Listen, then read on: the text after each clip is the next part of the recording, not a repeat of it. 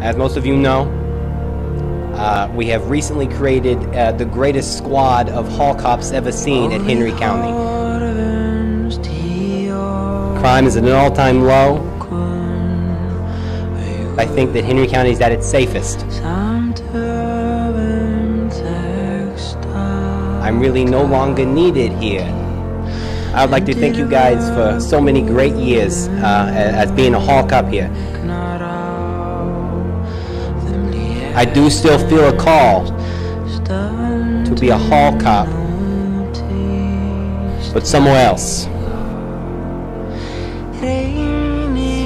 That's why I'm taking my talents to Asbury University. Oh,